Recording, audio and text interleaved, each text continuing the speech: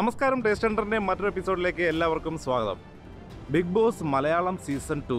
എന്താണ് Bigg Boss Malayalam season two? നമ്മൾ പ്രേക്ഷകർക്ക് നൽകുന്ന ഒരു സന്ദേശം. അതെ ഒരു നല്ല സന്ദേശം നമുക്ക് ബിഗ് ബോസ് സീസൺ ടു നൽകുന്നുണ്ട്. അത് എന്താണെന്ന് നമുക്ക് നോക്കാം. ഈ സീസണിൽ മത്സരിക്കാൻ വന്ന കണ്ടസ്റ്റൻസിൽ മഞ്ജു ഉൾപ്പെടെയുള്ള ഇപ്പോൾ പുറത്തുപോയ മഞ്ജു ഉൾപ്പെടെയുള്ള മഞ്ജു വീണ ആര്യ ജസ്ല തുടങ്ങിയ എല്ലാ കണ്ടസ്റ്റൻസും നമുക്ക് പഠിപ്പിച്ചു തരുന്ന അല്ലെങ്കിൽ നമ്മൾ മനസ്സിലാക്കേണ്ട അവരുടെ കളി കണ്ട് നമ്മൾ മനസ്സിലാക്കേണ്ട ഒരു പ്രധാന കാര്യമുണ്ട്. അതെന്താണെന്ന് മനസ്സിലായോ? നമ്മളൊരു നല്ല സുഹൃത്തിനെ തിരഞ്ഞെടുക്കുമ്പോൾ എന്തൊക്കെ നോക്കണം? എങ്ങനെ അവരെ തിരഞ്ഞെടുക്കണം? നമ്മൾ തിരഞ്ഞെടുക്കുന്നത് ഒരു നല്ല സുഹൃത്താണെങ്കിൽ നമുക്ക് എന്തൊക്കെ ഗുണങ്ങളുണ്ട്? എന്തൊക്കെ മെച്ചങ്ങളുണ്ട്? പകരം നമ്മൾ തിരഞ്ഞെടുക്കുന്നത് ഒരു മോശം സുഹൃത്താണെങ്കിൽ അതിന്റെ പേരിൽ നമ്മൾ എന്തൊക്കെ പ്രശ്നങ്ങൾ നേരിടേണ്ടി വരും എന്നുള്ളതിന്റെ വ്യക്തമായ ഒരു ചിത്രമാണ് നമുക്ക് ബിഗ് ബോസ് സീസൺ ടു മനസ്സിലാക്കി തരുന്നത്. അതായത് വളരെ മനോഹരമായി അല്ലെങ്കിൽ വളരെ നന്നായി കളിക്കാൻ കഴിയുന്ന ഒരു വ്യക്തിയായിരുന്നു മഞ്ജു പത്രോസ് എന്ന് പറയുന്ന ബിഗ് ബോസിലെ ഇപ്പോൾ ഔട്ടായ കണ്ടസ്റ്റന്റ് പക്ഷേ മഞ്ജു ആ വീട്ടിൽ വന്ന് ആര്യ എന്ന് പറയുന്ന വ്യക്തി ഉണ്ടാക്കിയ ഒരു ഗ്രൂപ്പിൽ അല്ലെങ്കിൽ ആ ഒരു മോശം ഗ്രൂപ്പ് എന്ന് തന്നെ പറയാം. ആ ഗ്രൂപ്പിൽ വീണ് അവിടെ നിന്നുകൊണ്ട് കളിച്ച മഞ്ജു ഗെയിമിൽ നിന്ന് മാറിപ്പോകുന്നതാണ് നമുക്ക് കാണാൻ കഴിഞ്ഞത്.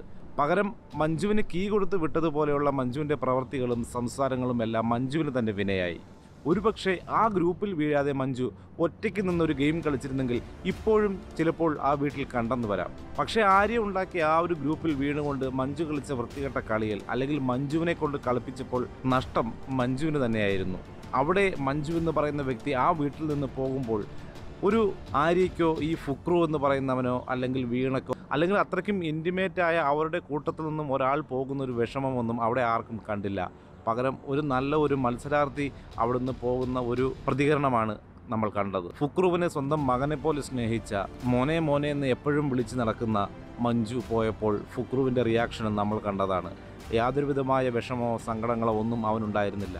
അതുപോലെ തന്നെയാണ് വീണയും. വീണ ആര്യ ഉണ്ടാക്കിയ ആ ഗ്രൂപ്പിൽ വീണ് മോശം കളികൾ കളിച്ച് ആര്യയെ വീണയെ കൊണ്ട് കളിപ്പിച്ച് ആര്യയ്ക്ക് അവിടെയുള്ള നിലനിൽപ്പ് വീണ്ടും ഒന്നും കൂടെ ഉറപ്പിക്കുകയാണ്. ആര്യ നമ്മളെ എത്ര വെറുത്താലും പുറത്തുള്ള ജനങ്ങളുടെ വെറുപ്പ് മാക്സിമം സമ്പാദിച്ചു കൊടുക്കുന്ന ചില പ്രവൃത്തികൾ വീണയെ കൊണ്ട് ആര്യ ചെയ്യിപ്പിക്കുന്നു. ഇത് മനസ്സിലാക്കാതെ വീണ ആര്യയുടെ കൂടെ നിൽക്കുന്നു. ഇനിയും നമ്മൾ കാണാനിരിക്കുന്ന പല എപ്പിസോഡുകളിലും ആര്യ വീണയെ കൊണ്ട് പല കളികളും കളിപ്പിക്കും. പക്ഷേ എല്ലാ പ്രശ്നങ്ങളുടെയും പിറകിൽ നിന്നുകൊണ്ട് മാത്രം കളിക്കുന്ന ആര്യ ഇനി മുതൽ കളത്തിനകത്തിറങ്ങി കളിക്കുന്നതായിരിക്കാം ചിലപ്പോൾ നമുക്ക് കാണാൻ കഴിയുന്നത്. അല്ലെങ്കിൽ ആര്യ എന്ന് പറയുന്ന വ്യക്തിയുടെ ഗെയിം പ്ലാനുകൾ ഇതോടുകൂടി ഇല്ലാതാവും. ഇനി ആര്യയ്ക്ക് സ്വയം നേരിട്ട് ഇറങ്ങി കളിച്ചെങ്കിൽ മാത്രമേ മുന്നോട്ട് പോകാൻ കഴിയുള്ളൂ. പക്ഷേ ആര്യ ഇനി എത്ര ഗെയിം കളിച്ചാലും ഇനി ആര്യയ്ക്ക് ഈ ഗെയിമിൽ പിടിച്ചു നിൽക്കാൻ കഴിയുമെന്ന് തോന്നുന്നില്ല. കാരണം വീണ എന്ന് പറയുന്ന വ്യക്തി പുറത്തായി കഴിഞ്ഞു കഴിഞ്ഞാൽ അടുത്ത പുറത്താവുന്നത് ഒരുപക്ഷെ ആര്യ ആയിരിക്കാം.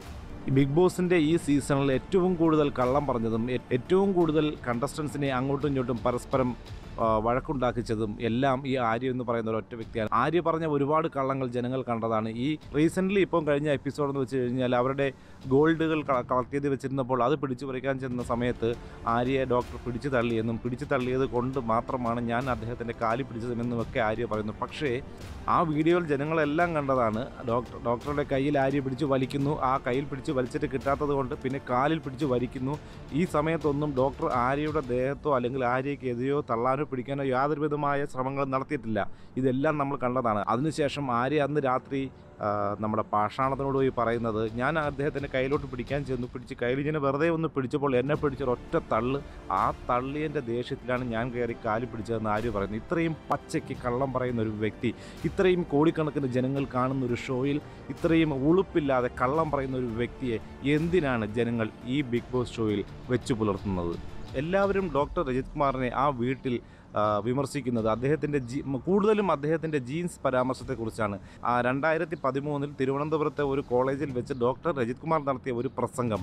അതിന്റെ ചെറിയ ഒരു ഭാഗം കട്ട് ചെയ്തെടുത്ത് ഏഷ്യാനെറ്റ് ഉൾപ്പെടെയുള്ള ചാനലുകൾ ജനങ്ങളിലേക്ക് എറിഞ്ഞു കൊടുത്ത് അദ്ദേഹം പറഞ്ഞ മോശം ഒരു കാര്യമായി ചിത്രീകരിച്ചുകൊണ്ട് അതിനെ ഒരു മാസക്കാലമോളം ദേശീയ തലത്തിൽ വരെ ന്യൂസ് ആക്കിക്കൊണ്ട് അവർ ആഘോഷിച്ചു. പക്ഷേ അന്ന് മുഴുവൻ ഏത് ചാനലിൽ ഇന്റർവ്യൂ കൊടുത്താലും എവിടെ ഒരു അഭിപ്രായം പറഞ്ഞാലും ഡോക്ടർ രജിത് കുമാർ എന്ന് പറയുന്ന വ്യക്തി ഒരേ സ്വരത്തിൽ മാത്രമായിരുന്നു സംസാരിച്ചിരുന്നത്. ഒരേ അഭിപ്രായം മാത്രമായിരുന്നു അദ്ദേഹം പറഞ്ഞിരുന്നത്. അദ്ദേഹം പറഞ്ഞത് എല്ലാവരോടും അദ്ദേഹം പറഞ്ഞത് ഞാൻ അവിടെ പ്രസംഗിച്ചത് ഈ ഒരു വാക്ക് മാത്രമല്ല എന്റെ പ്രസംഗം മുഴുവനായി കേൾക്കൂ. കേട്ടതിന് ശേഷം എന്നെ വിമർശിക്കൂ എന്ന് അദ്ദേഹം അന്നും പറയുന്നുണ്ട് ഇന്നും പറയുന്നുണ്ട്.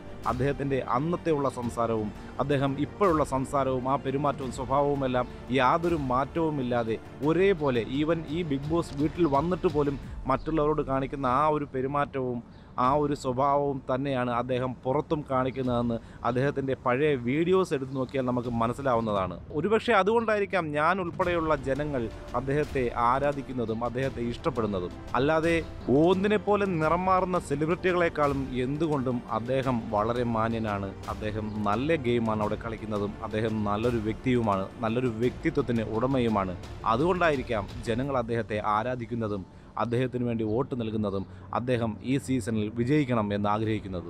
അപ്പോൾ എല്ലാവരും ചാനൽ സബ്സ്ക്രൈബ് ചെയ്യുക ലൈക്ക് ചെയ്യുക ഷെയർ ചെയ്യുക കമന്റ് ചെയ്യുക. വീണ്ടും ബിഗ് ബോസിന്റെ മറ്റു വിശേഷങ്ങളുമായി വരുന്നത് വരെ ബൈ ബൈ